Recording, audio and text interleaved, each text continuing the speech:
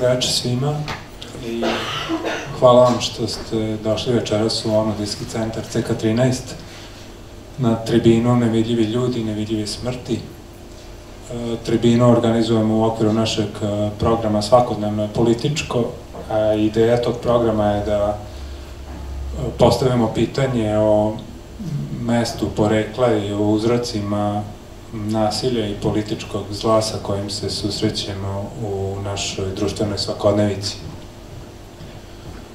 A, ja vam se zahvaljujem na prisustvu jer ga razumem kao vašu i našu spremnost da se večera suočimo sa društvenom stvarnošću kakva zaista jeste, a ona je večeras um, užasna, bolna i tužna i nepravedna, jer je realnost ta da živimo u državi koja ubija i koja skriva svoje zločine i zločince, neki i ne skriva, neko ih pušta da, da promovišu zločin slobodno.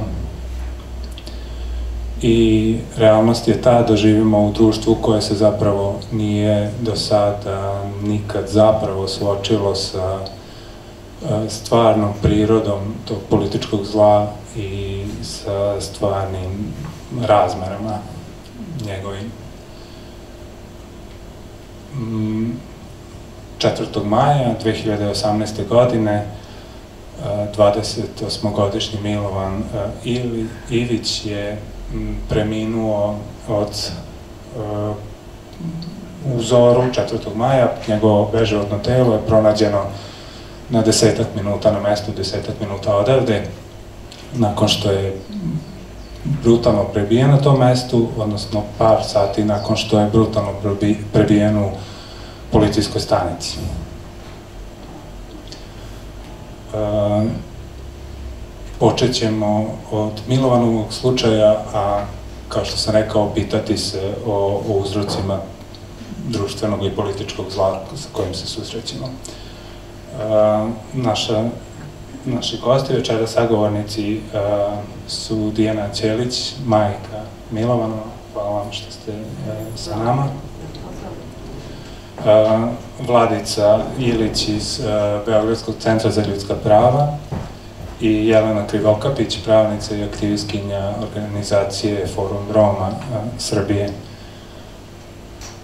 Ja bih uh, započeo večerašnji razgovor sa vama, Dijana, i zamolio vas da, da nam ispričate te glavne okolnosti u ta dva dana, ko, kako, koje su se desile, kako su se desile i koje su dovele do smrti vašeg sina, a zamolio bih Vladicu da se nastaviš na, na Dijaninu priču i da prokomentarišeš iz tog pravno-političkog ugla te okolnosti i kako, kako ih vi u Beogradskom centru za ljudska prava vidite.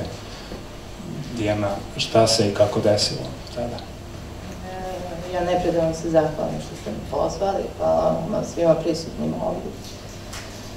2. maja 2018. E, moje dete privedeno od strane e, policijske ispostave Detelinera. Ja sam negde oko 16 časova ne, oko 18 časova dobila sam poziv od jednog čoveka koji se zove Vlada Grahovac. Rekao mi je, moja čerka videla da je Milovan priveden, sedeo u klupi od strane policijskih službenika. Onako sam razmišljala, znajući njega, da on bilo gde da se nađe, ako ili nema kredit ili bilo gde da se nađe, on obavezno meni pošalje poruku, znala sam da će se on meni javiti. Međutim, ja sam čekala, čekam, čekam 9 sati, vidim nema ništa, ja zove, zovem MUP, iz MUP-a mi jave kao ovaj, priveden je, pitam šta je u pitanju, kaže remećenje javnog reda i mira, pitam e, koja stanica u pitanju, tu kaže policijski ispostava detelinara, nazovem tamo, kažem ne, ne, ne, nismo mi njega priveli, kao verovatno je u pritvor. Sad razmišljam, čudi me zašto me nazove, ali dobro, sačekat ću. Međutim, e, ona mi je rekla u šest oko 6 sati da će biti pušten. Ja uh, ujutro sa Petrom Panićem, čovjekom s kojim ja živim moj nevenčan suprug, e, krenemo bulevarom i ja primetim Milovana na klup. On stane i kad smo mu prišli, e, od tada mi je i dan danas šok taj kad sam videla dete kako izgleda. E, glava je uduplan. Iznad desnog oka arkada je e, bio je flaster, levo oko spušteno, vidi se da su udarci bili, očiju, e, usne su bile tamne, na jednom mestu baš je bilo jako tamno, onako je sav bio natečen, uši su bile tamne, indigo tamne. E, mi smo ga pokupili, došli smo kući, e, ja sam mu dala za boloveni mulid i na osnovu onoga spiska što treba da, da se uzme u apoteci, otišli smo, međutim, rekli su da moram otići kod lekara da bi se ispisali ti upute za, za leko. Odatle smo otišli na VMC, ne znajući da je protokol takav da nisu mogli da ga prime. Međutim, mi kad smo se vraćali, on je toliko insistirao, mama, molim te, idemo u policijske stanice, vidjet ćeš da ništa nisam kriv, premlatili su me, e, iako sam priveden kao svedok. I mi ulazimo u policijsku stanicu e, kralja Petra, s obzirom da ona bila najbliža, tražili smo nekoga s kim ćemo razgovarati, e, primio nas e, komandir interventne Nikola Krajinović. E, nisu dozvolili Petru da uđe sa nama, ja i Miki smo ušli. Najprije bio grup taj čovek i onda me pitao e, gde radim, pokažite lične karte, kad sam rekla da radim u Ministarstvu odbrane, kao malo se smirila situacija, izvolite, i onda je Miki nastavio da priča. Kako je priveden kao svedok svađe Slavka i Jelene, e, u policijsku ispostavu Detelinara gde su dali izjave da Slavko i Jelena da su imali verbalni sukob. Samo da Slavko i Jelena, znači o, to je... E, momak i devojka koji su bili na drugoj klupi, Milovan zna, zna Slavko. E. I ovaj, e, kad su ih priveli tamo, umesto, znači napisali su izjave, međutim, jedan od policajaca ošamari Jelenu, gde je moj sin odreagovao kako vas nije sramota zašto dirate ženu. E, onda je nastao haos, policajac mu prilazi, udara ga i veže ga. E, nakon e, toga, znači bila je hitna, e, hitna je odvezla Jelenu, e, Jelena je burlikala, ne znam, vikala, tako je bilo, znači malo je nezgodna bila u tome kad je policajac udario i sve to što se izdešavalo, znači otišla je na psihijatriju, međutim nakon toga moj sin je tražio pravo na poziv i rekao mi je, moja mama, vaš kolega, hoću pravo na poziv, vi nemate pravo da me tučete. Moja mama radi u ministarstvu odbrane, međutim, s obzirom da su to takav tip ljudi, da su oni verovatno smatrali da on na neki način njima preti. Otko znam, mislim, kako su to razmišljanja.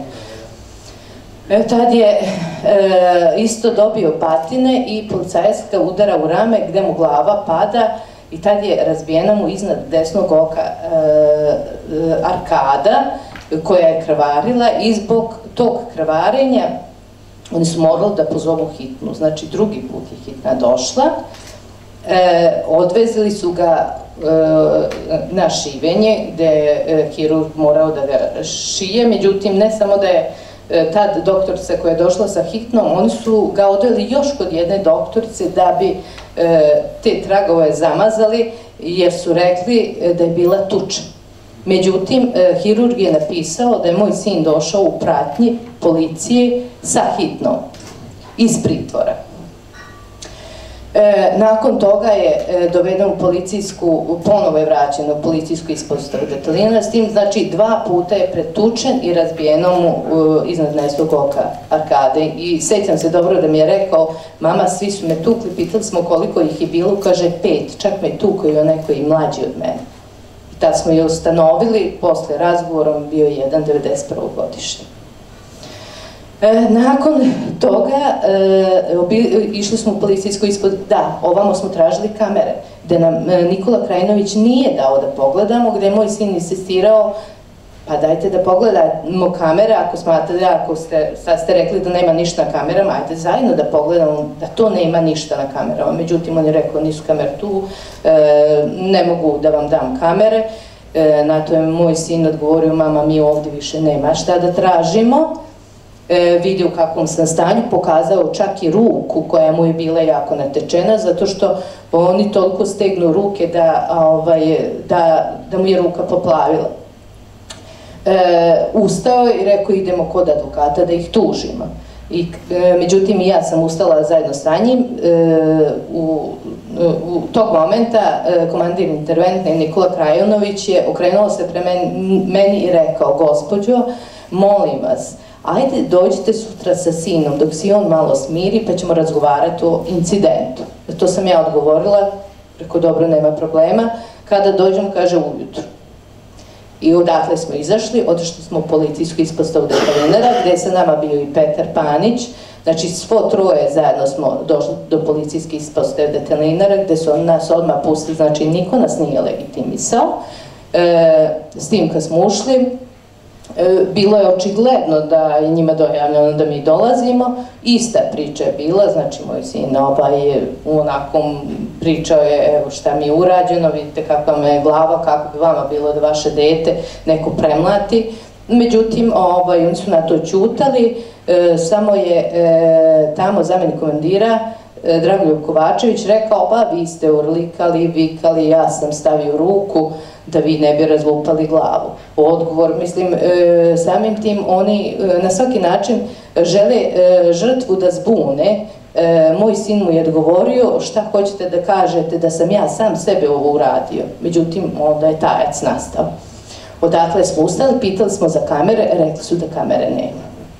I otišli smo, otišli smo kući gde je on popio nimulit, E, nakon toga u razgovoru sa devojkom e, onako mu je telefon ispao iz ruke i počeo da spava, meni ga bilo žao, on je legao, ja mu namestila samo ovaj jastuk, e, umeđu vremenu, ovaj, tu je negde pa pola devet na večer bilo, ja imam malog cukcu e, i ovaj, izgleda da prošetam ga, e, da, e, prvi put kad smo došli, znači ni muli, posle sam mu dala onaj Rapten 400S, ja mislim da je od 400 mg. I bila sam kod dnevnika i vraćala sam se kad vidim poziv, e, pošto je Petar radio onda je došao da vidi kako je Miki.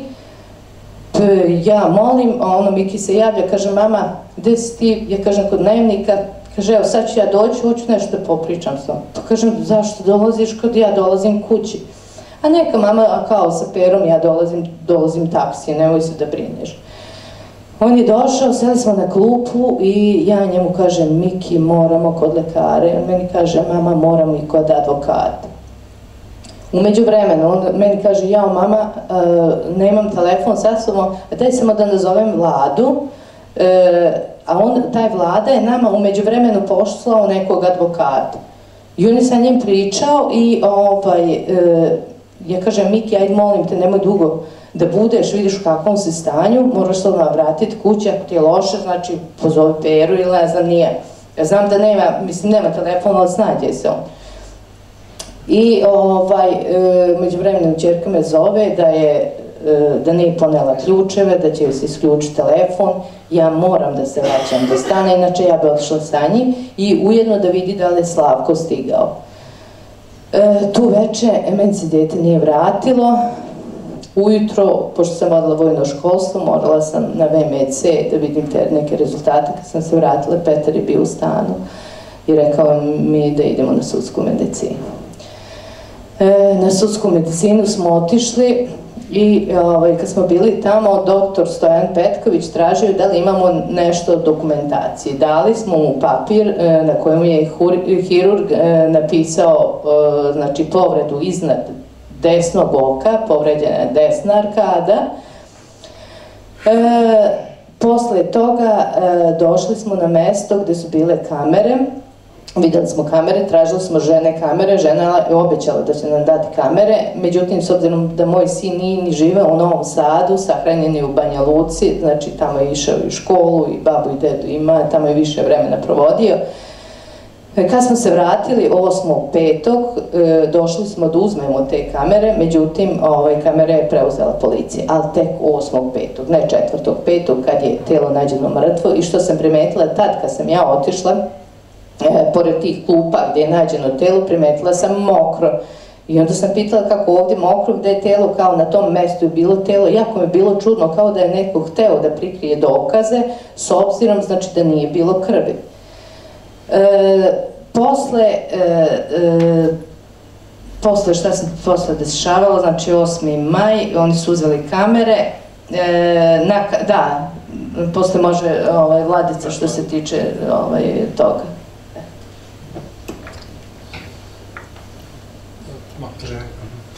Ja bih se takođe zahvalio na pozivu. Nama se Dijana javila krajem 2018. godine, početkom 19. tako je nekada bilo oko nove godine. I kada mi ispričala tu priču, nas je odmah onako asocirala malo na slučaj Davora, kako se zove, Davida Dragičevića, jes, iz uh, Banja Luke.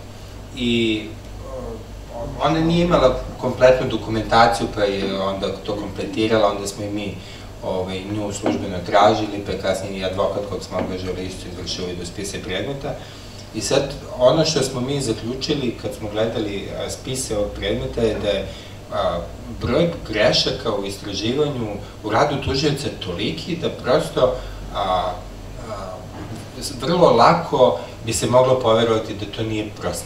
Dakle, a, grešaka ima toliko da, da se neko trudio da onoliko grešaka napravi, teško da bi uspeo da, da se uradi. A da je pritom bio savestan i da je hteo da istraži šta se sve desilo. Prva stvar je a, važna to što tužilac saznaje za slučaj, odnosno za smrt nekog mladića od 28-29 godina, 4. maja, i on već tad kaže, ima informacije od policije da se on nalazio u društvu sa metadonskim ovisnicima. To je njemu navodno rekla policija. On daje nalog da se izvrši obdukcija, ali ne daje obducentu da ispita u okviru one hemijsko-toksikološke analize, sve narkoanalgetike i sve ovaj, na, ova sredstva koje se zlupotrebljavaju, već kaže u, zapisnu obdukciji, tužilac rekao da, se, da obducent proceni koje će substancije i da li će uopšte da vrši hemijsko-toksikološku analizu. I onda, ovaj, to je prvi propust. Dalje, tužilac saznaje da je Milovan sa majkom i Petrom išao narednog dana, nakon što je pušen, odnosno onog dana kad je pušen iz policije, i prijavio da je zlostavljen. Tužilac to zna i tužilac zna da je on sve to tvrdio i policija njemu odgovara Milova nije podneo pritužbu. E sad, po našim propisima, to je vrlo korisna informacija, mislim uopšte, kad policija nekog pretuče i kad vi dođete u policiju i to uradite, policija bi morala da sačini zapisnik o prijemu krivične prijeve. Dakle, vi uđete u policiju i kažete tu kome policajac, ili tu kome komšija, ili kogod da vas je tuko, i čim to tvrdite, on bi morao po službenoj dužnosti da napiše zapisnik o prijemu krivične prijeve. Da vi njemu diktirate, da on vas još neke stvari pita koje vi preskočite, da sve to napiše i da to odmah podnese tužiocu. Oni to nisu radili, ali su priznali da je Milovan došao i, tvr, i da je rekao da je bio pretučen, nego su mu rekli podnesi pritužbu.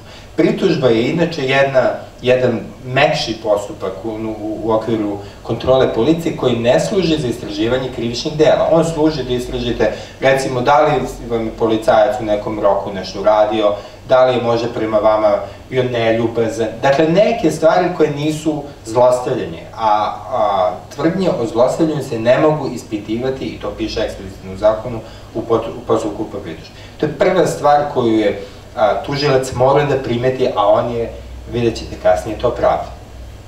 Onda dalje Dijana je, u, nakon što se sve ovo desilo, se obratila tužiocu 27. i 28. maja. I ona njemu u jednom podnesku i rekla da je Milovan bio priveden, da je tvrdio da je tučen, da su pominjala tu neke kamere i tužilac je to već kraj maja imao. Tužilac se obratio policiji nakon, nakon toga 4. juna, ako se dobro sećam, i traži od policije da policija utvrdi šta se vidi na tim snimcima.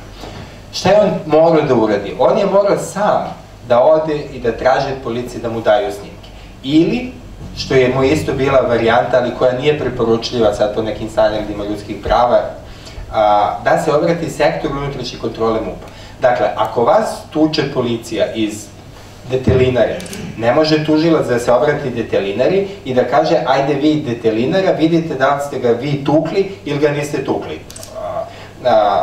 Prosto to, je, to, to se po standardima ljudskih prava ko, koji proističu iz prakse na primjer Evropskog suda za ljudska prava ili Komiteta protiv torture, smatra pristrasnom istragom. Dakle, ne može da se očekuje nepristrasnost u, u, u rasvjetljavanju zlostavljanja ako ga vrše lica koje su blisko, blisko ovaj, povezane hjerarhijski, institucionalno po nekoj komadnoj odgovornosti sa licima koji su sumničani. Vi nekad vi ne znate da li je neko zlostavljio nekog po naredbi njegovog komandira. I vi se onda obratite njegovog komandira i očekujete da će on da vama ovaj, otkrije. Dakle, ništa od toga. Tužilac je i tu grešku napravio. Onda a, a, se obratio prekasno. Dakle, on, se, on je imao 28. maja, a maj ima 31 dan, znači on je imao 29. 30. 31. prvi, drugi, treći, četvrti. Sedam dana je trebalo da tužilac reaguje. Za tih sedam dana je proteklo famoznih 30 dana koliko policija, sad moram da kažemo, navodno čuva snimke.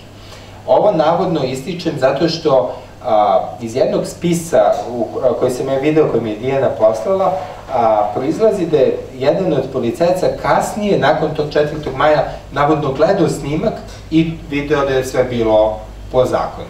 A kad, su, kad im je tužilac tražio snimak, do duše prekasno, oni su tužilcu rekli snimak se automatski obrisao nakon 30 dana. I, ovaj, a, a, I to su tek njemu, ovaj, oni su tek to njemu kasnije, kasnije rekli i izveštaj o tome šta ima na snimku a, napisali tek tamo u septembru, oktobru, nekoliko meseci nakon događaja. Dakle, tužilac je tu otaljavao potpuno ovaj, i bio spor i neefikasan i, i uopšte nije bio ovaj, savestan u, u tome da pravovremeno istraže šta se tu desilo. Drugo, tužilac je, ja ću da se usudim da kažem, lagao da je on bio prisutan na licu gde je pronađeno telo Milovana Ilića. Vi ako čitate policijske spise, ja sam ih čitao i pre toga i znam kako otprilike šta se piše kada je tužilac na mesu događaja i gde se navodi on, a gde ne, kad nije. Ovaj, iz svih policijskih spisa piše ko je prisustvovao na uviđaju, da je tužilac ovlastio policiju da ona izvrši uviđaj, to čak piše u jednoj službenoj belešci, a kasnije je tužilac kad je obrazlagao svoj odbačaj kliše prijeve, napisao da je on izašao na, na mesu događaja. Što je apsolutno neutemeljeno. Dakle, vi kad čitate spise predmeta, vi nigde ne vidite da je tužilac bio na mesu događaja. Da je on bio na mesu događaja, logično bi bilo da on rukovodi uviđajem, jer je uviđaj jedna dokazna radnja kojom bi trebalo da rukovodi organ postupka, a to je on, on je rukovodilac predisciplinarnog postupka. On to ovde nije radio, nije ovlastio policiju. A, taj uviđaj, nažalost, kada je pronađeno Milovanovo telo, bio isto dosta traljan. Mislim, mi živimo u 21. veku, gde sad svako dete ima mobilni telefon koji slika u boji. Slike lica mesta gde je pronađeno telo nekog mladića od 30 godina su crno-bela. To je stvarno za, za dobu u kojem živimo nedopustivo. Mislim, to sad opet ja kažem, toliko grešaka i traljavosti i, i nekih ovaj, nelogičnosti da, da je meni teško da poverujem, iako ne bih želeo da se izjašnjam naravno u, oficijalno na taj način, da poverujem da sve to bilo eto samo neka omaška. Onda vidite jednu isto laž. Dakle, kasnije je Dijana došla i do tih snimaka kamera i, ovaj, i tu sad ima raznih detalja, pomenući to. Vi vidite recimo na jednom od snimaka gde se vidi kako sviće a, 3. na 4. maj i u jednom momentu vidite Milovanovo telo koje leži recimo na boku. I prilazi mu čovek i sad vidite jasno na snimku da čovek okreće Milovanovo telo, verovatno pokušava da mu da vešačko disanje, reanimaciju, nešto, okreće mu telo, dolazi ovaj, a, policija, pre policije dolazi hitna pomoć, znači svi su živi, okretali telo, pomerali njegov položaj, vi čitate zapisnik uviđaju, piše lice mesta nije menjeno. Mislim, to, a, to a, pritom policija nije ni intervjuisala čoveka koji je pronašao telo, da ga pita u kom je položaju pronašao, šta je pokušao, kada je našao, dakle, piše a, izveštaj, odnosno zapisnik uviđaju se svodi na to šta je Milovan ima u džepu, koju, kakve mu je boja majica, farmerice, pantalone, čarape i šta mu piše na tetovaži. A ako je to izveštaj o uviđaju u 21. veku, onda smo mi osuđeni na, na, na, na propast. Mislim, onda svako, svako može da uradi šta hoće, dođe policija, popiše šta vi imate u džepu, koja vam je boja majca, pa šta će da otkrije nas toga, mislim, ništa, ne. A, I iz tih crno-belih slika su se videli neki, recimo, opušci, salvete oko Milona glave, koje su mogle da budu interesantne za policiju da je htjela da istraže. Postoje sad neke metode, policija mogla to da izuzme, da vidi recimo, ovaj, da se to poklapa s nekim licima koje su mogli da saznaju da su bila te večeri na tom mestu, pogotovo što, ja sad malo preskačem, dakle, Milovan je, nakon što je pušen iz policije i kad je Dijana rekla da nakon što su posljednji put razgovarali, otišao ovaj, u to dvorište između Gagarinovi kralja Petra, se tako zove ulica. I sad vi vidite Milovana koji dolazi uveče oko pola 10-10 i nosi jaknu. Onda se vraća ovaj, sa tog, iz tog dvorišta, opet izlazi, priča s nekim ljudima, opet nakon nekog vremena ulazi u to dvorište i opet nosi jaknu. Onda oko pola 12 vidite a, neke pokrete koji stvarno mogu da budu shvaćeni kao tuča. Ja ne mogu da tvrdim da je to tuča, ali vi vidite, pogotovo što je tu bilo i neko vratilo, neka ljuljaška ili nešto u tom dvorištu, vi vidite da se može neko tu veša, da baca noge ili u prazno ili u nekog... Vidite neki događaj i to baš na mestu gde je sutradan pronađeno njegovo telo. Šta još vidite interesantno što bi neki savjesni tužilac trebalo da shvati? Vidite da Milovan ima povrede a, koje nije tvrdio da je zadobio u policiji. Dakle, vi imate arkadu koju, koju je i majka opisala i, a, i po onim slikama koje je dosila tužiocu vidite da je razbijena arkada, ali nakon što je pronađeno njegovo telo, on imao masu ovde hematoma, razderotina, pa je imao ovde u slepočnom predelu, pa je imao ovaj, na usni, ona isto verovatno potiče iz policije, ali nigde u spisima nije dokumentovana, jedino je dokumentovano pucanje arkade, ovaj, i tužiocu to nigde nije bio znak da on ispita ko su ti, pod znacima navoda, metadonski ovisnici. Dakle, u redu, iako je bio s nekim licima, ko su ta lica, ko ih je saslušao, šta su oni rekli, dokad su bili tu, a, a, kad su napustili to mesto, s kim je Milovan ostao, kad su oni odlazili i tako dalje. A pošto je to bila sumnjiva smrt, policija je mogla, odnosno tužilac je mogla da traži da se izvrši uzimanje baznih stanica, da se vidi koja su lica bila u to kritično vreme na tom mestu. A, vi kad vidite recimo te kamere na tom mestu događaja, policija uzela dve i tu su čak i prome, promašili adrese, pa su im ovi ovde predsednici kućnih savjeta dali, jer policija traže. Ovaj, a, onda smo Dijana, moj kolega i, a, a, i ja otišli na mesto događaja i izbrojali još a, kamere koje policija nije uzela. Recimo, bio, tu, tu postoji neki vrtić, ako se sećam, Sunce se zove, koji baš gleda isto na mesto događaja, s kog bi se isto može moglo videti šta se tu desilo, gleda pravo onako ovaj, kamera tu, to niko nije uzeo. Oni su uzeli iz jednog prolaza i iz drugog. O, odnosno, a, a, a, da, a nisu uzeli recimo iz vrtića, iz ovih drugih ulaza, tu postoji jedno deseta kamera koje direktno ili vrlo blizu su bile usmrne ka mestu događaja.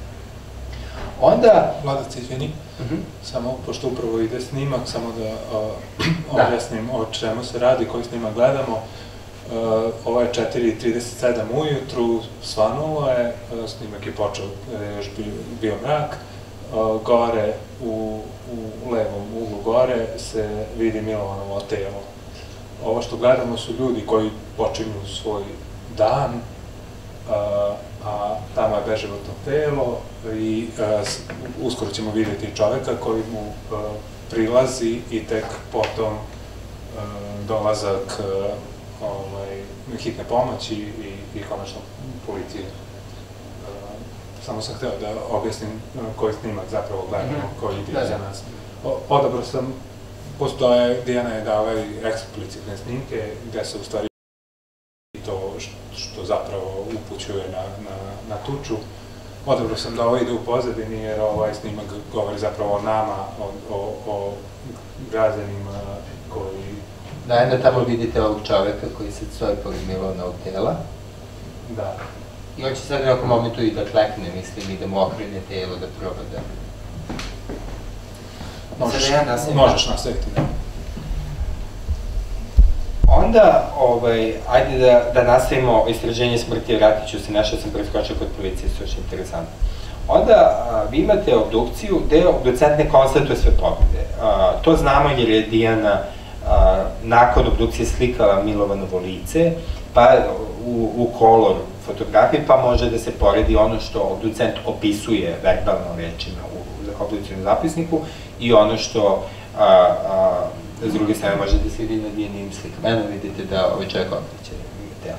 A, onda a, se dalje događa to da, osim što ne opisuje sve povrede, a, obducenti se izjašnjavaju bez rezerve. Dakle, oni kažu, pregledali smo spoljašnji nalaz tela, unutrašnji nalaz, rađene su analize, pronađeni a, u krvi i, i, i tkivima su pronađeni a, a, alkohol i, leko, i a, lekovi za smirenje. I oni se izjašnjavaju, naglašavam bez rezerve, da je uzrok smrti istovremena konzumacija alkohola i lekova za smirenje. Pritom su oni bili u nekim dozama koje su terapijske, dakle kao kad biste popili lek, dakle nisu bile neke visoke doze koje nužno dovode do smrti.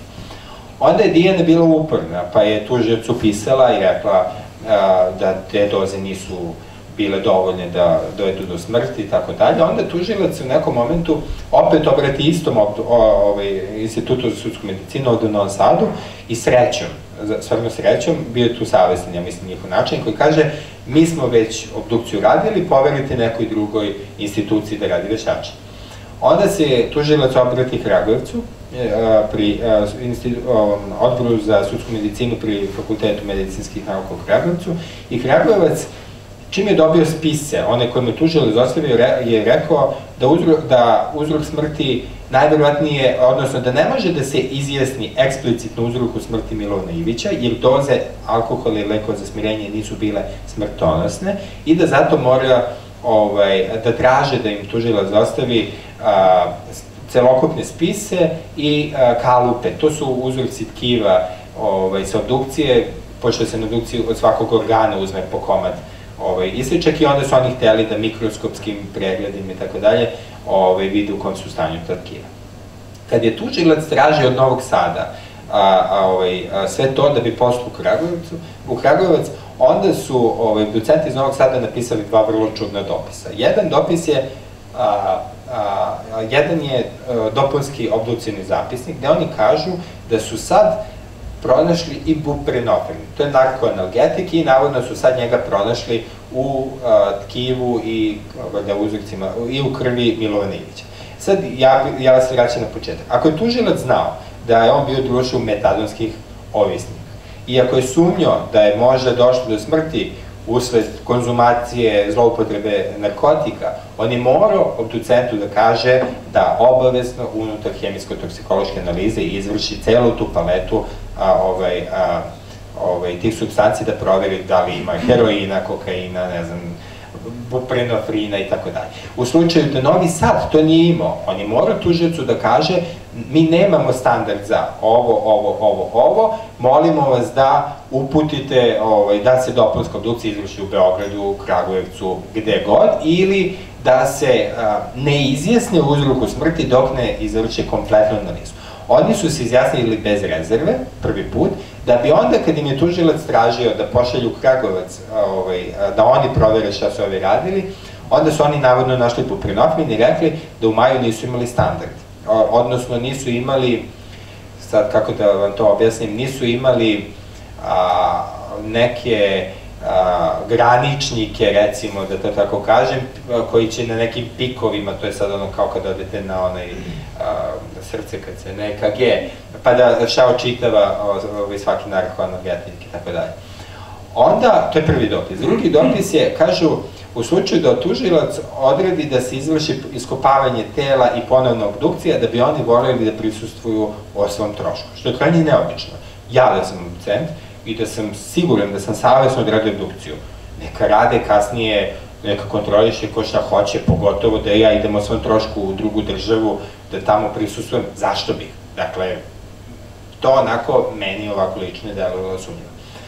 Onda Kragujevac ovaj, odbor za sudsku medicinu u Kragovicu uradi sledeće. Oni pogledaju mikroskopske uzorke tkiva Milovana Ivića i kažu ovako, ako, a, da su sve te promene koje su na tkivima a, postojele nespecifične. To znači da njihov uzrok da nije jedan, dakle, mogu poticati od više različitih uzroka, ovaj, da vi ne znate koji, ali da mogu poticati od onog što tvrdi Novi Sad, a to je da je a, smrt nastupila usled istovremene konzumacije sadbuprinofrina, alkohola i lekova za smirenje.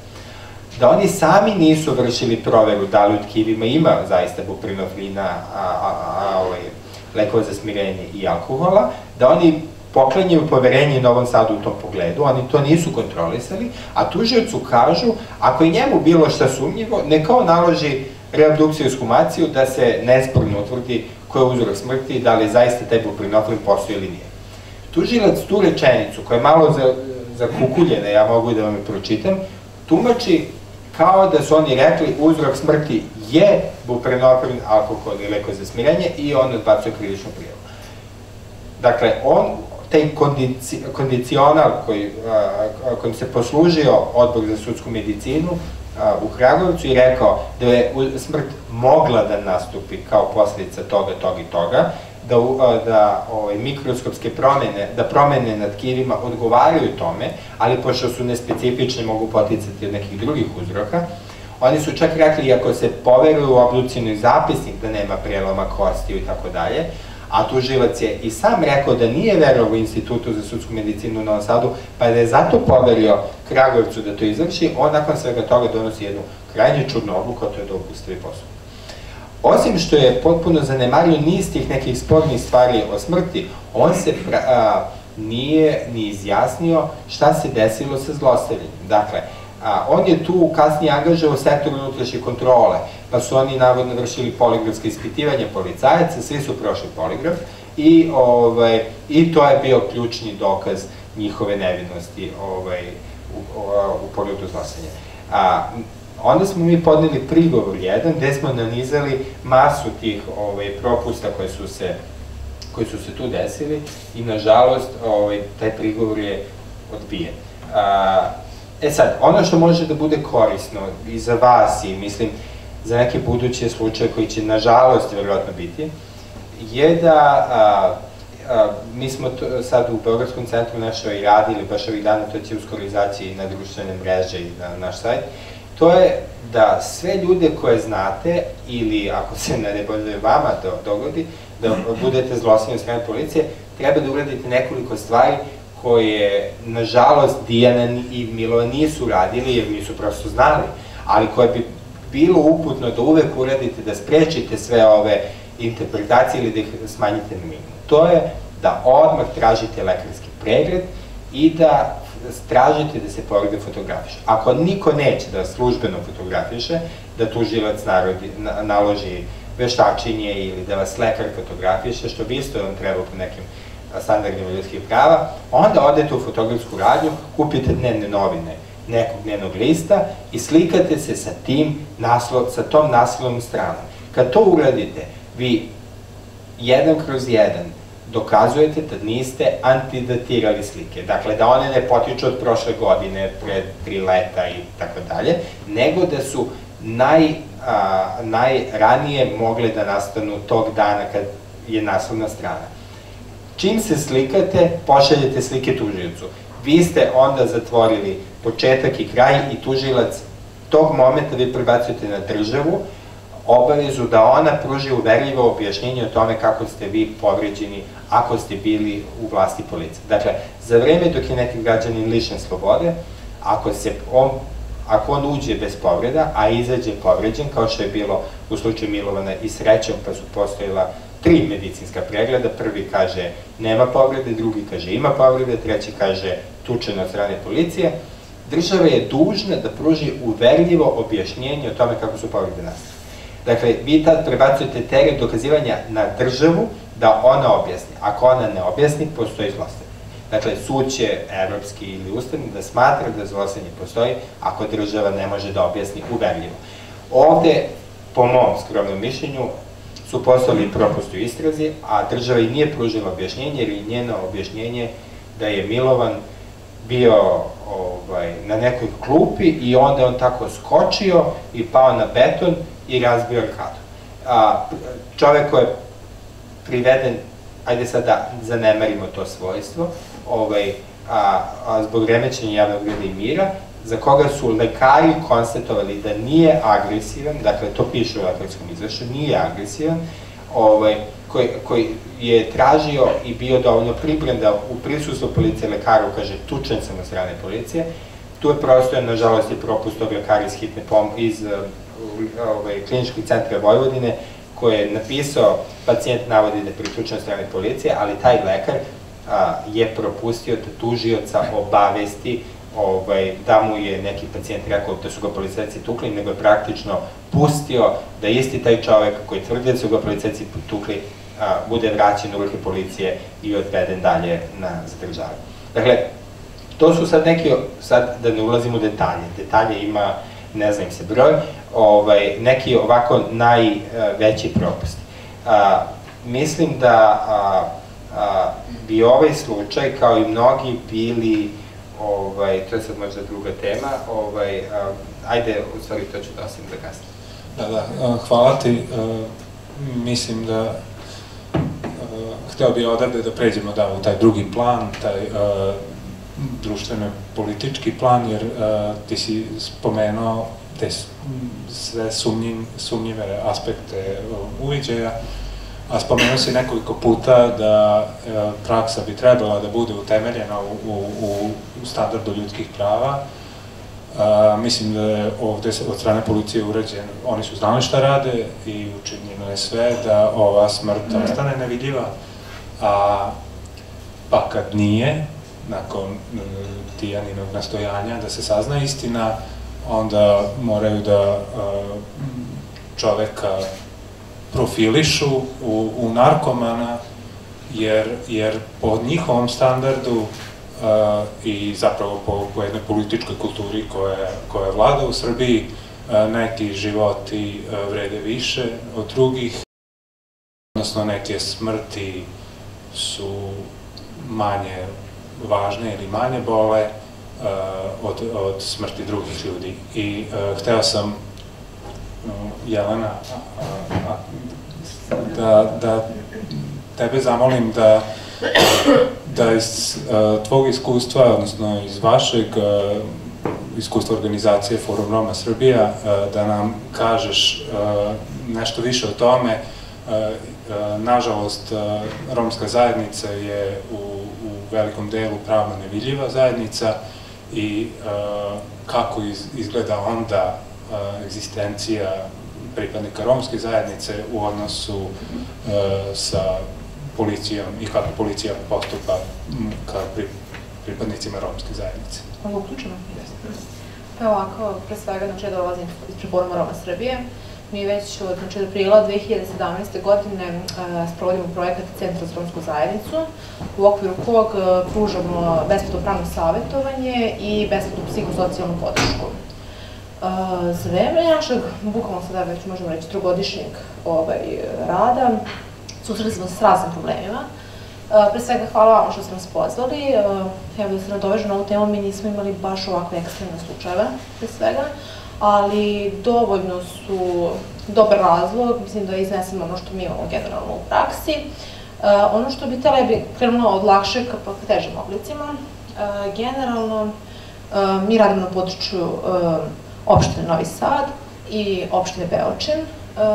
Najviše radimo u naselju Veliki Rit i tu ima jako dosta pravno nevidljivih lica. Generalno, napomenut ću prvo jedan slučaj gde smo imali 47-godišnju ženu koja je pravno nevidljiva od svog rođenja, znači nije uopšte evidentirano u matičnoj knjizi rođenih i ona jednostavno obratila se nama za pomoć, um, kada znači mnoge organizacije da li ove, nevladine, da li državni organi nisu joj ovaj, pružili pomoć kad god je tražila, zato što je već bila u teškom zdravstvenoj, teškoj zdravstvenoj situaciji. I um, obratila se tada generalno mene, pošto videla nas je, ovaj, i Šapca je došla, ali rodom je znači, iz uh, Novog Sada. I došla je, kaže, videla nas je u jednoj emisiji gde smo mi ovaj, promovisali naše aktivnosti.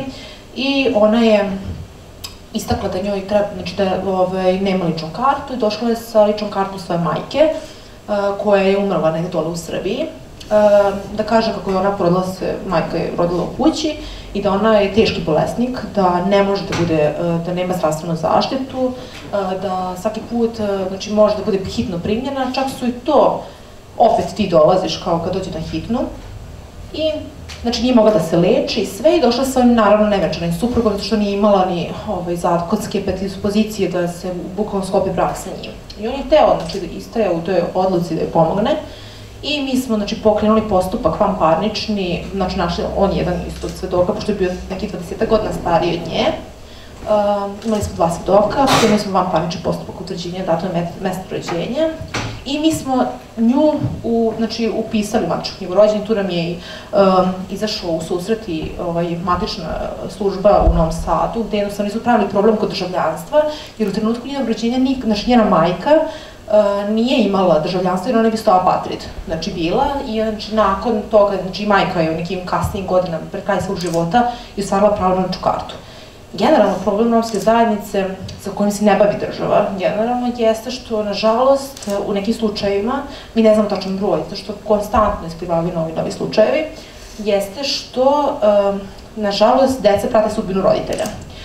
Šta je problem ovde? Znači, mi se kao organizacija imamo saradnju, znači to nam je i bukvalno povezivanje romske zajednice sa institucijama, jedan od zadataka, sa svima imamo lepu saradnju. Čak sa centrom socijalni rad generalno. Mislim, to govorim iz razloga što uvek govori se kako romska nacionalna manjina uh, je najveći broj uh, slučajeva da je korisnik naučene socijalne pomoći. Uh, ali, ono što je najveći problem je što imamo problema sa policijskom upravom Novi Sad. Tačnije i sa ministarstvom unutrašnjih poslova u svim segmentima. Znači, e, nastaje problem, znači, toliko, znači, izborili smo se da nađemo sve doke i sve, e, dolazi do toga da ona, znači, ona je morala da se vraća za Šabac, I uh, u Šapsu, znači oni njoj znači, ne pružu informaciju, znači ona uplati, znači generalno, hoću da kažem da se radi, radi veoma siromašnoj porodici, i ona uplati takse za izradu lične karte, znači dođe sa rešenjem pravnosnažnim uh, iz suda, znači niko nam nije pravi problem, dođe sa uverenjem o državljanstvu, dođe sa izvodom vaših knjige rođenih. I nju policija vrati, kaže ti moraš da tamo gde si rođena.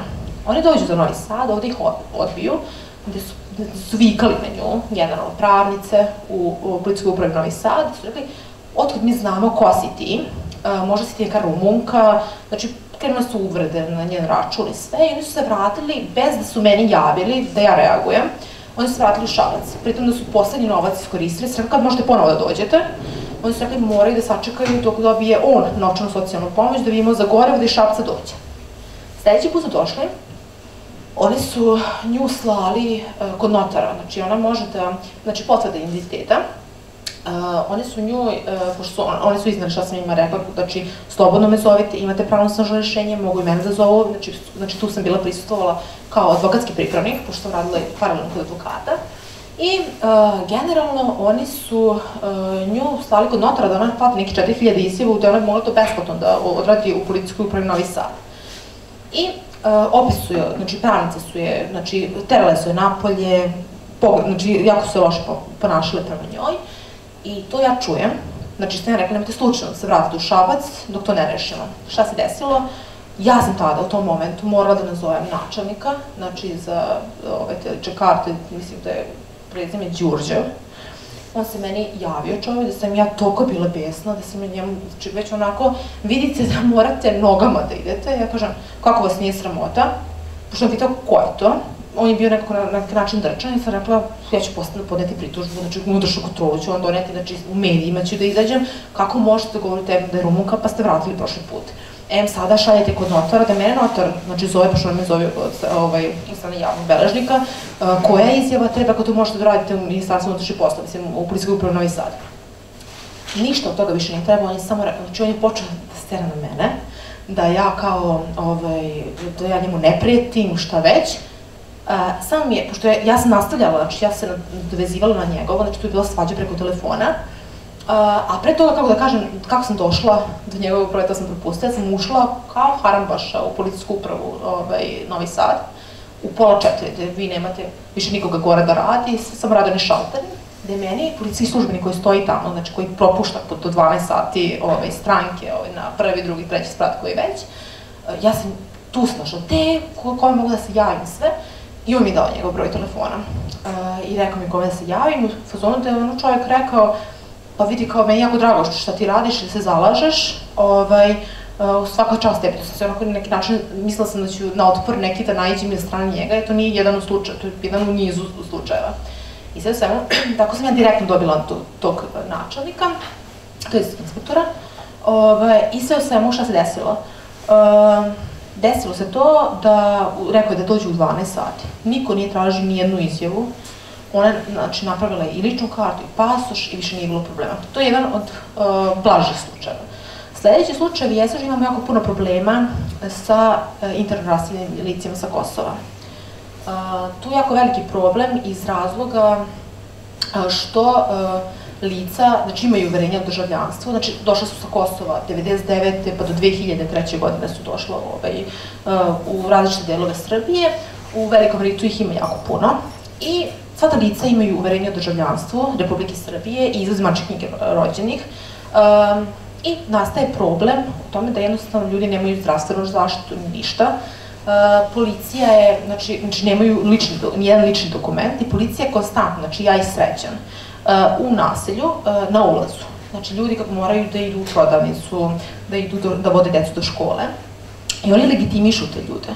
Znači, oni znaju da oni nemaju, znači da država nije rešila pitanje tih uh, ljudi, oni njih legitimišu i pišu im kazne, koje kasnije se pretvaraju u kazne zatvora. Uh, ljudi ne mogu da ostvare pravo na lični dokument iz razloga što je to neformalno naselje, ne mogu da prijave uh, prebivalište, I kogu god pokušavali, uh, oni dođu, na primer, na adresu, znači ovdje postoji posebna uredba za ljude raskljene s Kosova, se ne znam da li to uh, po nekom logičnom razmišljanju, da li to država razmišlja tako da što više ljudi zadrži prijavljenih na ovaj, teritorije Kosova i Metohije, znači nije mi jasno generalno, znači ljudi, to nije u skladu sa zakonom prebivališta i boravišta građana, gde su ljudi generalno, da se prebivalište smatra tamo da vidiš gde su njihove životne aktivnosti, znači oni su tu preko, znači skoro 20 godina, oni jednostavno njima znači, ne daju mogućnost, pritom se katastrofa ponašaju prema njima. Ja sam dolazila u uh, policijsku upravu Novi Sad, gde sam stajala ispred, sam videla da se uh,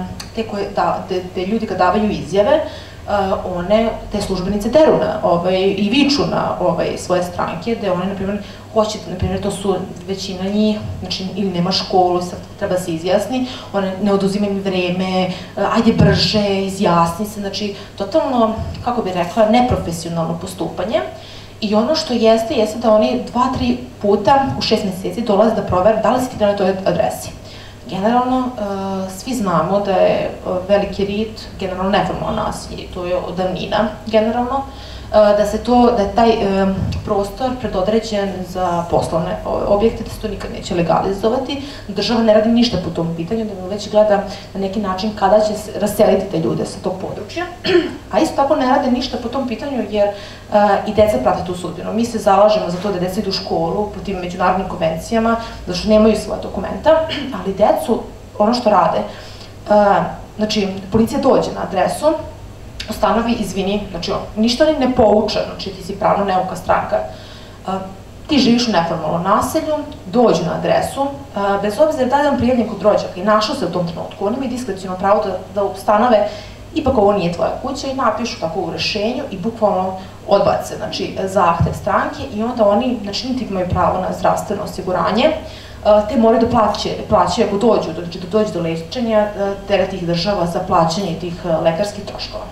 Tako da imamo dosta tu jako velikih problema. Um, a ono što, sad, što malo su ekstremniji slučajevi, jeste da smo, da smo mi dobili prošle godine um, od Evropskog, uh, Evropskog centra za prava Roma da pomognemo, pošto ja sam radila na jednom projektu, u jednom vođenju njihovog slučaja, mislim i oni isto tako funkcionišu, da angažuju, pošto to imaju 20-godišnju ovaj, tradiciju, znači oni već dugo postoje i oni se bave zaštitom, ovaj, znači borbe protiv diskriminacije u različitim državama ovaj, Evrope i jednostavno, na primjer, u slučaju Srbije oni angažuju advokate uh, da idu do posljednje instance koje imaju, da oni preuzimaju slučajima svoje advokate da ih zastupa, da oni zastupaju stranke pred Evropskim, ovaj, Evropskim sudom za ljudska prava.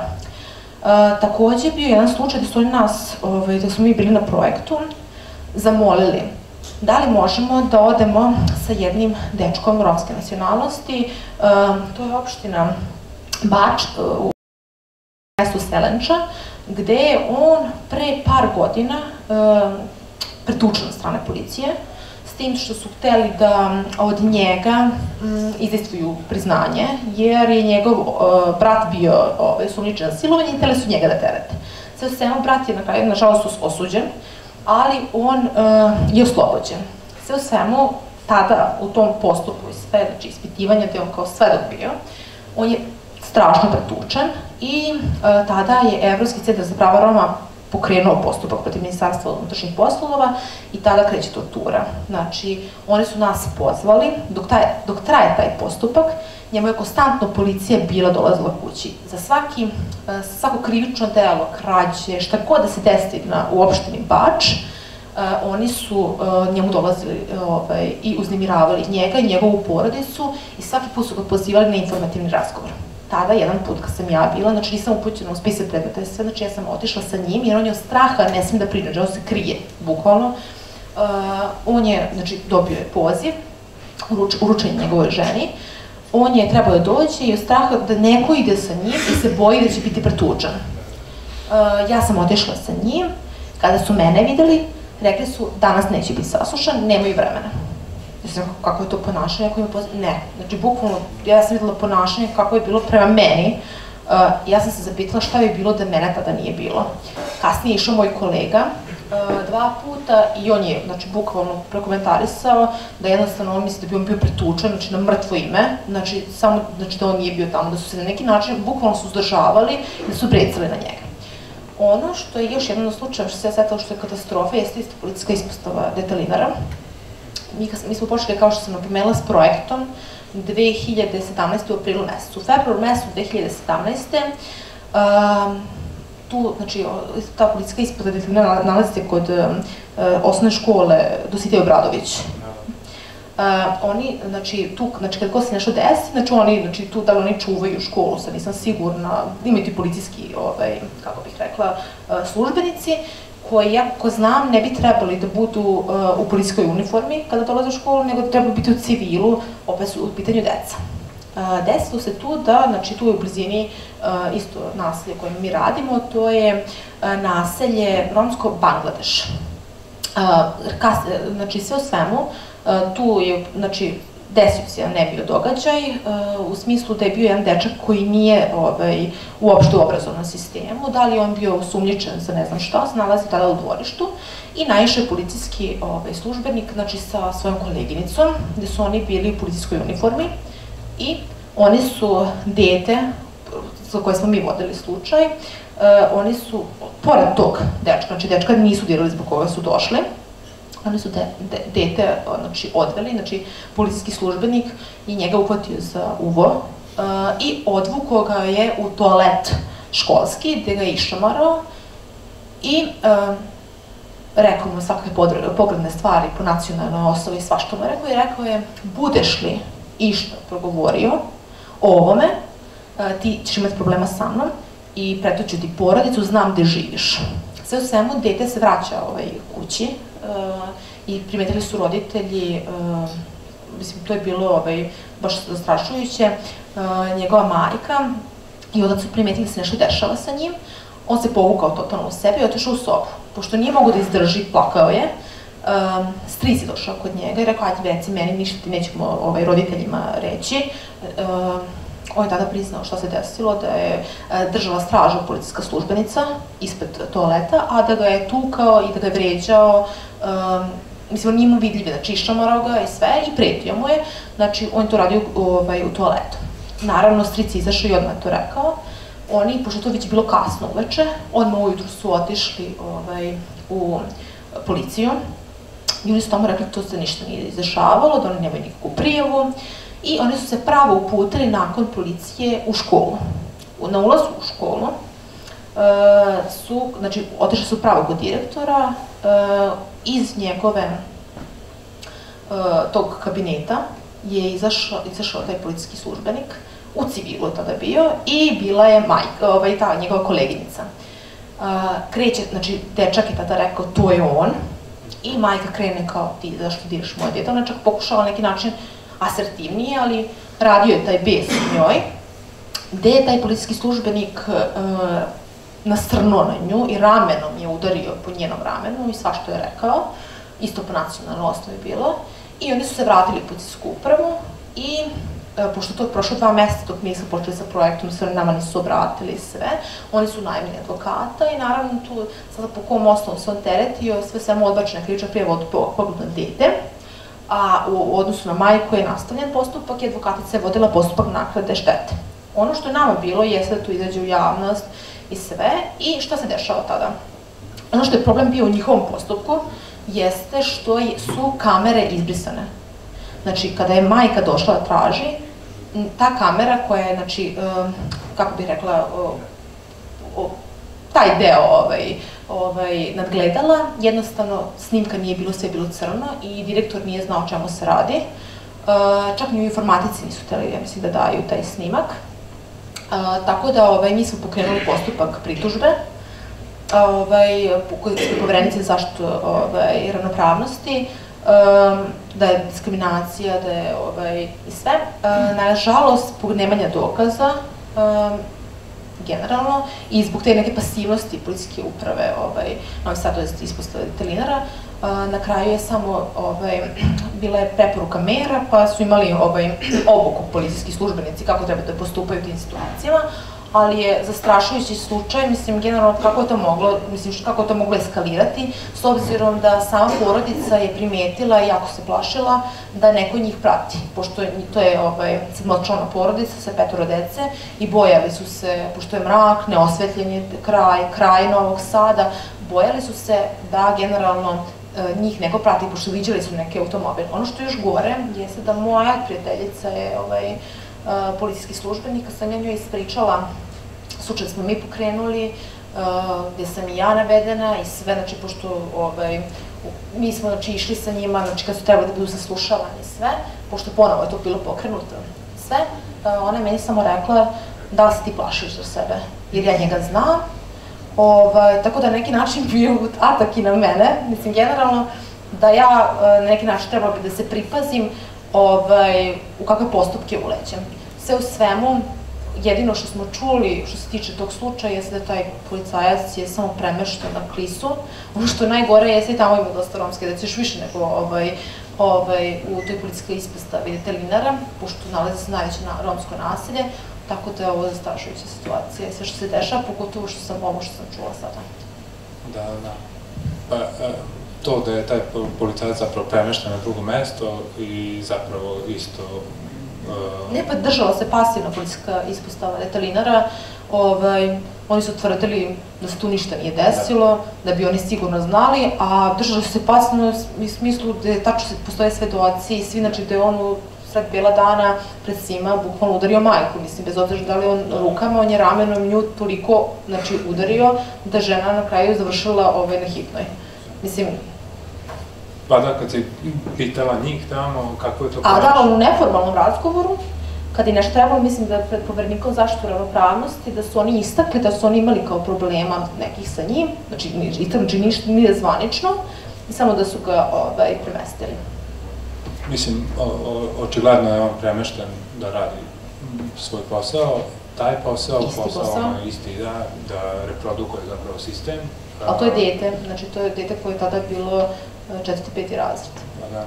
Možda i dobiju bolji položaj u glavnom To kad, kad si pitala kako je to ponašanje, to je zapravo tipično ponašanje, e, nažalost i u, u m, teoriji, da, opisano kao etničko profilisanje, da samo ću o, pročitati pošto je jezgrovito, etničko profilisanje predstavlja pojavu kada policijski službenici bez cilja i bez prihvatljivog opravdanja uzimaju umesto ponašanja obeleže rase, etničko poreklo, religiju ili nacionalno poreklo kao osnov za donošenje odluka o tome ko jeste ili može biti umešan u krivičnu radnju prilikom vršenja pretresa, kontrola, nadzora ili istraga. Tipi, tipično uh, ponašanje to se tiče onoga što se naziva policijska kultura. E, vi ste, Dijana, u vašoj borbi za istinu e, došli u kontakti sa drugim ljudima i čuli, nažalost, da, i druge slučajeve koji, koji ilustruju da to jeste tipično za policijsku kulturu kakva vlada, da li biste hteli da podelite sa nama koliko možete, naravno. Još samo da dodam na ovo Vladičino, znači jako je bitno e, da se traži rešenje o zadržavanju koje nije dobio moj sin. Ja sam 15 dopisa poslala načelniku MUPA. E, možda nakon nekog desetog rešenja o zadržavanju stiglo je e, u tužilaštvu dok je Slavko Nužić i Jelena dobili po sebi. Što znači u rešenju o zadržavanju imate pravo, mislim da je 8 dana da se žalite. Znači i to su sakrali. E sad da nastavim, s obzirom da sam e, e, bila, e, pošto, pošto je ovdje e, organizovala se jedan od 5 miliona kad bio protest, bila sam na tom protestu, prišla mi je žena, pošto smo nosili transparent, uglavnom svi pitaju, Prišla mi je žena i rekla, jao, kaže, i moga sina i moga muža pretugla interventna policija. I sad priča priču, muž i sin šete, ispred njih su bila ta tri policajca i oni se smeju, tako razgovaraju jedan s drugim, ovi se okrenu, isprabijaju ih. I samim tim što su ih isprabijali, e, interventna policija zove policiju i kaže im, evo su nas dvojica napali. S tim, dok su ovi došli, kao pomoć su tražili, dok su ovi došli, oni su sami sebi epolete pokidali. Što znači da su oni spremni na sve. Isto u ovom slučaju moga sina, e, može, eto nisam donela, može da se primeti kao da je onaj copy-paste kad mi radimo rešenja o prevođenju rezervni sastav, ime prezime se menja, gde piše e, bivši narkoman, lečeni alkoholičar, korisnik smeštaja za beskućnike ili ne znam nija šta. Uglavnom, e, kod njih su ili su svi narkomani ili su svi kriminalci, a samo su oni časni i pošteni što je Jer su Romi ili su uh, građanski aktivisti? Jest, baš tako, baš tako. E, međutim, e, još mnogih priča čujem s obzirom, možda pre nisam toliko obraćala pažnju, ali sad pogotovo, e, s obzirom da nam je sad dobrovoljno služenje vojske, sad e, imamo decu koju šanjemo, pa onda deca kao deca pričaju, jedan dečko je pravnik, On je baš pričao, kaže, svaku večer kad idem u grad, a obavezno me pretresaju. Kaže, to je nešto neverovatno, znači, toliko maltretiranje. Jedno, e, drugo, ovaj, čujem priču od devojke, e, kad sam ispričala ovaj slučaj, ja de, sa decom razgovaram, kaže, jao, pa ja njih dosta tamo znam, kaže, svaki drugi je narkoman. Jedno, e, drugo, još je ispričala, E, kaže, čak su se neki hvalili, e, kao razveo se o žene i naišao je neki narkoman, kaže, tako sam ga isprebijao. E, za njih je za pohvalu, ako najđu na nekog groma pa ga maltretiraju, jednom sam isto ja išla, mladić je vozio na kolica, normalno mora da, da prežive, one kartone je ovaj, skupljao, su njih trojica mu je prišlo pa su ga maltretirali. I ja se sad pitam, ako ne iđe neko sa džipom, da li bi smeli da priđu njemu? Znači u ovoj državi treba da budemo svi ravnopravni, a ne po rasi, po opredeljenju, e, po veri, ili smo čovek ili smo ne čovek. Da to tako. Da, hteo sam, vi ste pomenuli da je Milovan Banja Lučanin, Mi smo hteli da pozovemo večeras i aktivistu inicijative Pravde za Davida, uh, ali je da nam ispriča o dokle su sada stigli, uh, bio sprečen da večeras bude sa nama, ali je spomenuo događaj od pre nekoliko dana da je bio priveden u policiju samo zato što je na trgu uzviknuo pravda, čak ne ni pravda za Davida, nego samo pravda i to je već bio dovoljan osnov da ga privedu u policiju i na ispitivanje. I, um, Vladice, da možeš da, da bih htela da sad tematizujemo tu o, policijsku kulturu i zapravo pitanje mislim, uh, ovo je društvo koje nije prošlo kroz tranziciju,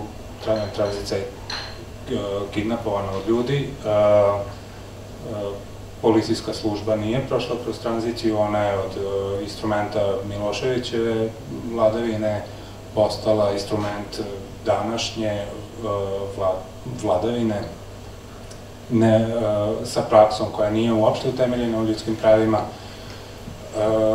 Mislim da je, verujem da ćete se svi složiti da je um, primereno da nas podsjetim i na ubistvo Zorana Đinđića, To ubistvo su izveli pripadnici uh, policijske jedinice, uh, službenici države, a da m, do danas m, zapravo nismo suočeni sa pozadinom uh, to, tog uh, zločina, pa čak je i tada predsednik države Koštunica pokušao da utemelji na nekom standardu ljudskih prava protest crvenih beretki, jel da, pozivajući se na neki valda standard da, da su to ljudi zaposleni i u policijskoj službi i da imaju pravo da štajkuju ili protestuju u skladu sa tim. U ovom slučaju to je bilo pod punim naoružanjem.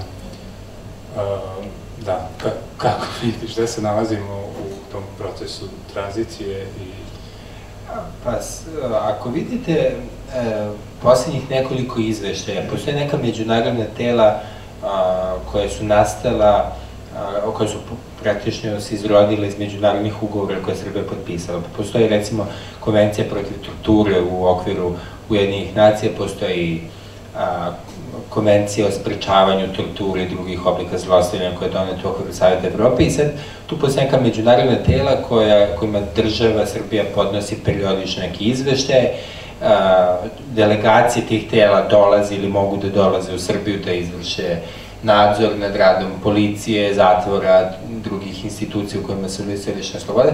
Kad čitate poslednjih nekoliko izveštaja i tog Evropskog komiteta i komiteta, vi ćete videti i specijalnog izvestioca UN za torturu, vi ćete videti da policijsko zlostavljanje i dalje je raširena pojava, pogotovo u a, policiji.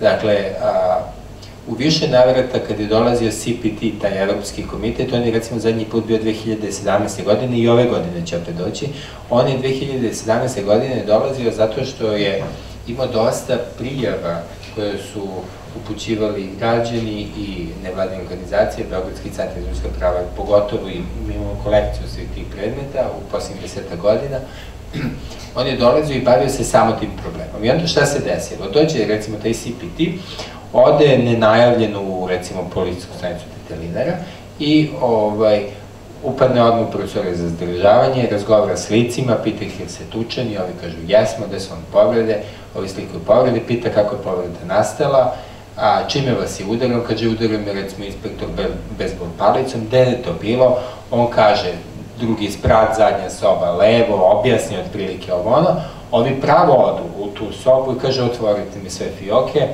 Ovi kažu, nemamo ključa. Ovi kažu, dobro, evo mi ćemo da čekamo, zovite onog ko ima ključa. Ne kažu, niko nema ključa. Ne kažu, zovite bravara. I onda, otprilike, to je sad ono nadbudrivanje s policijom, a, oni, a policija onda mora da ovaj, im sve omogući, jer su oni njihove inspekcije, da tako želim da kažem. Ovaj, I onda ovi otvore fioku u nekom momentu i je bejsbol palica. I onda ovi pita, a čemu vam služi bejsbol palica? Oni kaže, pa to je otuzeto od nekog jer se tuko. Oni kažu, aha, a, a ovaj, gde vam je protokol?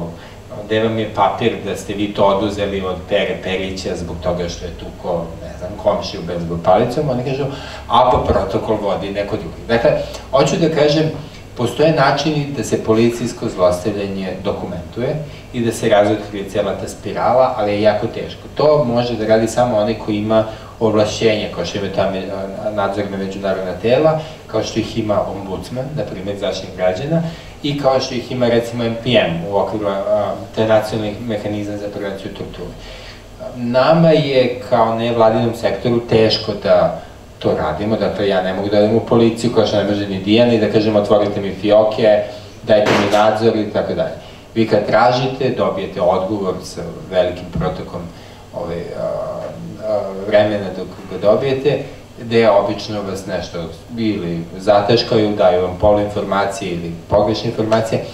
E sad, dakle, sva ta tela kažu da je zlostavljanje u Srbiji među kriminalističkim inspektorima a, rašireno i to već dugo traje. A, kako to može da se promeni?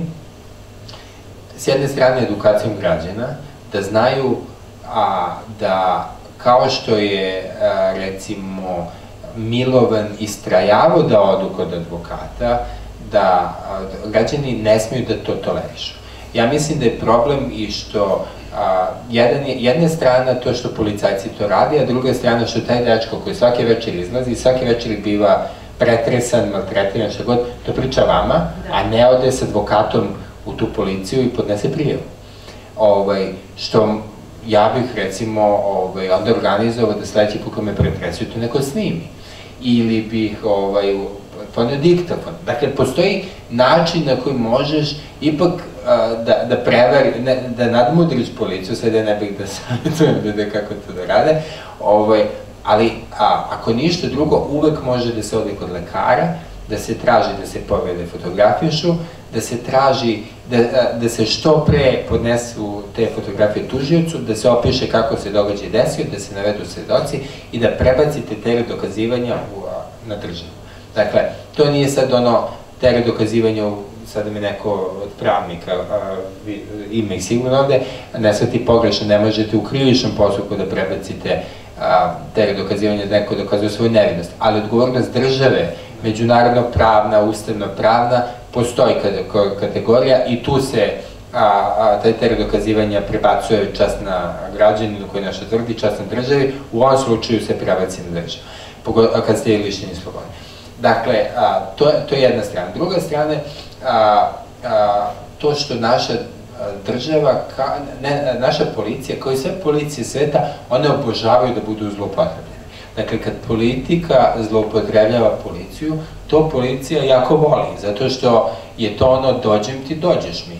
Dakle, kad poli, političari zloupotrebe policiju za neku stvar, onda će sutradan ti policajci da traže kontrauslugu da se nešto zataška, jer drži ovog u džepu, a policajci sve dokumentuju, što im naravno treba, ovaj, i onda je tu uvek ta spirala a, i postoji neko, da tako kažem, zajedništvo u, u ovaj, zataškavanju. A, mi smo recimo a, i kao nevladin sektor i, i čak i ombudsman pre nekoliko godina tražili da a, se saslušanja građana u policiji vrše isključivo u prostorijama koje su pod video i audio nadzor. To nikad nije prošlo. Ja sam recimo bio u dosta zatvora i, i u policijskih stanica i u nekim ustanovama gde su lica sa mentalnim smetnjama i uvek kad pitate za taj video nadzor, uvek je da, funkcioniše, sve mi to beležimo, onda kad tražite da vam pokažu zadnjih nekoliko slučaja, onda kažu, a pa tad baš, tad baš nije radio. Ovo, ovaj, dakle, a, ali to su sad stvari a, koje, na koje a, advokati prave dosta grešaka, to je isto veliki problem. Mislim, advokati su dosta skupi za ljude, a, nekih prosečnih primanja, kod nas nije malo da platite advokatu svaki podnesak, svaki izlazak, a, a tu može svašta da se a, nakupi, a da vam onda pritom ne uradi neku stvar koja je ono suština. Dakle, advokat mora da zna da on a, kad zastupa žrtvu zlostavljanja ima prilično komodnu poziciju, a, a da, da prebaci teret dokazivanja na državu, da dokumentuje povrede i da onda bukvalno a, insistira na tome da traži od tužioca da on lično sprovodi radnje, da on traži od tužioca da blagovremeno sprovodi radnje, da mu podnese podnesak i kaže modrice će izblediti za dve nedelje ja znam da to zvuči crtanje, ali što kaže jedan sudija, nekad smo živjeli u državi gde je svud pisalo zabranjeno pljuvati po potu. Nažalost, u pogledu policijske torture mi trenutno živimo u, u, u tom stanju da morate da kažete modrice će mom klijentu izbledeti za 10 dana. Ako ne naložite veštačenje za 10 dana, nestaće dokaz, bit ćete lično odgovorni. To treba advokat tako da napiše tužiocu nažalost, da bi eventualno nekog tužioca naterao ovaj, da o, to uradi, jer će taj tužilac znati da taj spis ima u predmetu. I ako on to ne uradi, onda će ovaj advokat disciplinsku prijevu da podnese disciplinskom tužiocu ovaj, a, unutar tužilaštva i da onda disciplinski goni tu tužioca. Dakle, to su načini. I meni se čini da u celom tom, ovaj, a, neću reći neznanju, ali to je nekoj nesnalažljivosti, uvek profitira policija. Uvek će da se nađe tri policajca koji će da svedoče, da kažu da je to bilo ovako ili onako. Nažalost, mi imamo i situaciju gde i sudovi naši vrlo često poveruju ovaj, policiji samo zato što oni kažu zašto bismo poverovali recimo bratu ili nekom rođaku ili prijatelju nekog osumnjičenog, zato što je to njegov prijatelj, pa jel te laže, ali zato ćemo da poverujemo kolegi, jer on nema razlog da laže. A ja bih onda stvarno tražio ovaj, kao advokat od svih policije statistiku da mi kažu gde je to policajac svedoča protiv kolege i rekao jeste tu koga. Ako ima jedan policajac u stotinu otprilike, to bi, e, to bi za mene bilo iznenađenje. Dakle, na osnovu koje statistike i kog iskustva i života ti možeš da tvrdiš da kolega iz policije nije pristrasan, a da je moj rođak ili poznanik ili dakle, nužna pristrasan. E sad, to su opet neke veštine, to mora advokat da, da, da, tera sud, da, da, da ga baca u jednu vrstu intelektualnog iskušenja, da kaže, e, obrazloži mi zašto taj policajac je, ovaj, a, kako se zove, nepristrasan po, po vašem sudu.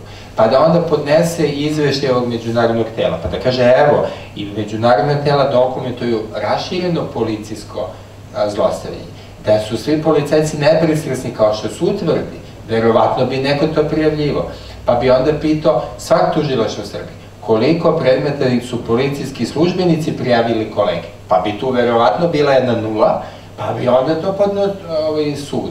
I tako na razne načine vi možete da dokažete u stvari tu besmislenost tvrdnje da su policajci nužno jeli super svedoci, a vaši a, prijatelji, poznanici ili neko nužni ovaj, lažovi jeli, ili neko ko priča ovaj, neistinu.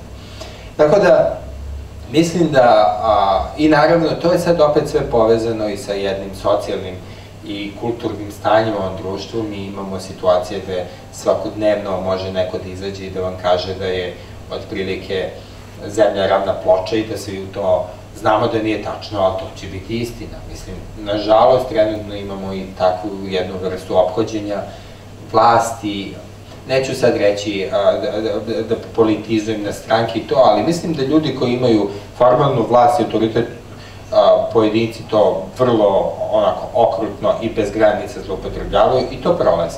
Vi ste evo imali situaciju da nedavno vrlo ovog čoveka koji je iz ovog Krušika, dakle on je sad ovaj, a, to prijavio, neko je sad rekao a, da taj čovek je odo ovaj, službenu, a, ovaj, odo je poslovnu tajnu, zbog toga što se nije, a, nije koristio, i on nije uzbunjivač zato što nije koristio mehanizme za uzbunjivanje. A znate koji su mehanizmi?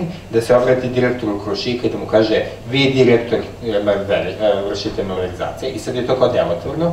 I druga je da se obrati MUP-u i da kaže otac vašem šefa je ovaj, u toj piramidalnoj strukturi, jer je MUP uh, ustrojen, otac vašeg šefa, on je, znate, ovaj, kriminalac ili zlupotrebio javna sredstva. I sad, to su bila očekivanja od tog čoveka i sad on to ne uradi, nego se overiti javnosti i mi sad ovaj, ne, agencija za borbu protiv korupcije koja služi tome da to ovaj, istražuje i da to sprečava, ona kaže ovaj, to se događa. Mi smo imali situaciju da su ljudi prebijani, ja ne želim nikakvu nikakav odnos da imam prema građanskim protestima u smislu podržavanja ili nepodržavanja, mi smo imali činjenicu da su se na društvenim mrežama pojavili snimci a, policijskog zlostavljanja u zgradi RTS-a. To su svi mogli da vide kako nekoliko policajaca udara onog čoveka u ćošku ovaj, pesnicama u stomaka abdomen. I šta se nakon toga desilo? Dođe naš zaštitnik građana na televiziju i pita ga voditelja, ste videli snimak? On kaže, nisam vidio snimak. Pita ga voditelj, pa dobro, ali to je tortura. On kaže, nije tortura. Ja bi pitao ombudsmana, pa kako tvrdite da nije kad niste videli snimak? Drugo, pita ga ovaj, ćete reagovati? On kaže, neću reagovati, čekat ću da policija reaguje. I naravno, evo, nije reagovala, ali zato juče saznajemo da će policajci koji su pretukli Andreja Vučića i brata Siniše Malog dobiti otkaz. Ja lično mislim da svaki policajac i svaki javni službe koji pretuče i Andreja Vučića i svakog drugog treba da dobije otkaz. Ali je problem to što je pravda selektivna, što će onaj ko tuče Andreja Vučića dobiti otkaz, ali neće ga dobiti onaj ko tuče Milovana Ivića, mene, vas ili nekog ovde od, od nas prisutnih koji nismo u poziciji da ovaj, imamo takvu ovaj, vrstu protekcije ovaj, socijalne i ne znam kakve još. I to je sad problem, mislim da je izlazak iz ovoga jedino upornošću i, i da se građani edukuju. Nažalost, a, ima malo, ne puno, ali malo se može postići i time kad vi stavite do znanja da neće, da, da, kad, kad, bi se recimo kad bi recimo građani bili do te mere uporni, da od recimo, ajde sad, pet zlostavljanja, u tri slučaja i građani tako dobro ganjaju i, i dokažu sve i slikaju i tako dalje, ja mislim da bi to bila ozbiljna poruka i za te policajce, mora da se provlači kroz suđenja, mora tamo daje izjave, mora njegov komandir, mora svako, mislim, a, ovde postoji jedna nekažnjivost koja je dosta raširena, koja je uzrokovana i time što ljudi na to pristaju. I kao što pristaju na ovo ponašanje vlasti i, i, i na svu tu toleranciju, ja mislim da smo neću reći, naravno, e, da, lično, ali kolektivno smo i mi dopustili i ovoj vlasti i toj policiji da prestane da bude ono što jeste, a to je naš servis. Vi se obratite policajcu, on vas kad uvredi i kad se tako ponaša, vi istog momenta, ja istog momenta pitam, dobro, kako se vi zove? On neće da mi kaže, ja kažem u redu, zapamtit ću vam tablicu. Mislim, e, dakle, morate da mu pokažete da ste živi. Ako vi, to je kao u psihologiji kad vi pokažete da ste vi, kad vi sami dovedete sebe u inferiornu poziciju, mislim, nemate šta drugo da očekujete, nažalost, dobro, I, a s druge strane, a, i kad se bunite, onda možete i tada dođete u neku nelagodnu situaciju, ali, opet kažem, mislim da je jedna kritična masa a, a, ljudi koji će a, argumentovano da ovaj, vode postupke protiv policije može da bude delotvorna, i mediji su isto tu jako važni. Jako je dobro što imate ovu vrstu programa i projekta, da, da se ovakvi događaji osvetle, jer generalno ovaj, mnogo se slučajeva desi, vi svakog dana, mi svakog dana imamo te razne informacije, informacije, danas smo trepali nekih informacija i onda mnogi ovakvi slučajevi prosto nestanu ovaj, zato što je preplavila vest da je recimo neki ministar plagijator, a mi ćemo izgleda imati sve više takvih vesti ovaj, za budućnosti i sve više zataškavanja ovakvih sudija. Pa da, spomenuo si gde je izlaz, uh, hteo bih da kažem da mi ovde verujemo da je izlaz ili nada u, u uh, slobodnom i samoorganizovanom udruživanju građana. Uh, tu, se, tu se nalazi naša snaga nasuprot uh, u ovom slučaju države. Uh, nažalost, Milovanov slučaj pokazuje baš to da on je Banja Lučanin i dakle nije, nije živio u Novom Sadu i nije, ne postoji, nažalost, ta inicijalna zajednica koja će da doživi njegovu smrt tako dramatično i da od toga napravi momentalno e, političko pitanje. E, mi, mi smo uz vas i to pokušavamo, ali e, pošto su slični slučajevi jako ilustrativna ta razlika da je tamo se to desilo i da, da je to političko pitanje i da imamo građane, čitav grad ili zapravo i Bosnu i Hercegovinu udruženu u, u, u potrazi za pravdom za, za Davida i da imamo jedan vladu i, i službu suprostavljenu građanima u tome. Da, dakle, hoću da kažem moramo se udruživati u... Da. u, u... Jeste, da se više nikome ne ponovi nešto. Hvala vam. Ako mm, ima pitanja, budite slobodni.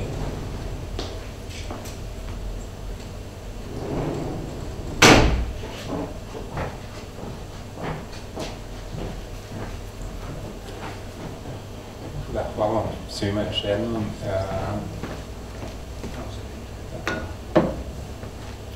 I hvala na prisustvu, kao što sam rekao na početku, ovo prisustvo znači, koliko god da je, jer je znači spremnost da, da budemo jedni uz druge sutra.